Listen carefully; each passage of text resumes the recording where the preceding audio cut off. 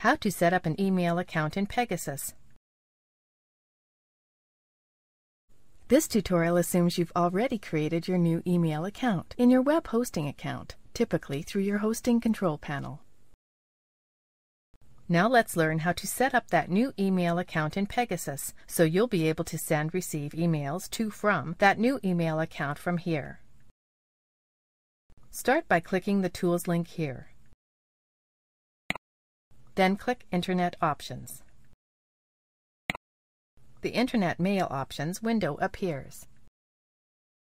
The easiest way to set up a new email account is to run the Setup Wizard. Let's do that now.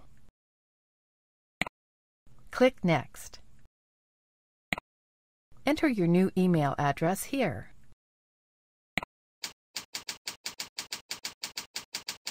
Then click Next. Now you have to enter your incoming POP3 server name, which would have been provided to you in your welcome email.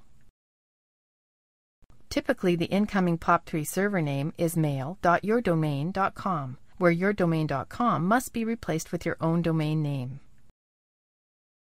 Enter your POP3 server setting now.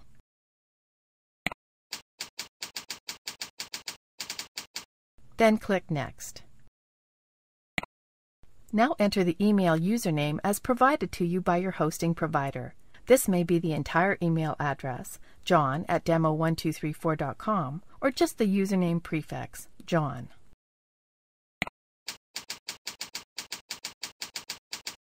Then enter your email password here. Click Next. Depending on your hosting server configuration, your username may be the full email address or just the email prefix, username.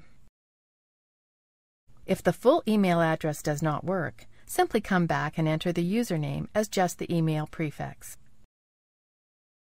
Click OK. Now you have to enter your outgoing SMTP server name, which is typically the same as your incoming POP3 setting. We'll just leave this as is, since it's already been pre-selected to be the same as our POP3 setting. Click Next. Choose how you will be connecting to the Internet. Then click Next. Click Finish to complete the setup wizard. The email account has been set up, but there's one more step. Click the Sending SMTP tab here. Make sure the SMTP host we're setting up is selected, then click Edit. Click the Security tab here. Check this box here so that using the SMTP port requires authentication.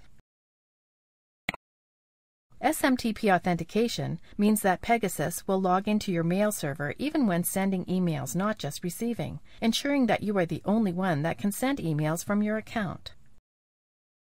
Most, most SMTP servers use the same username and password as the incoming POP3 servers, so let's select those settings. Highlight the POP3 definition we just created, then click Select.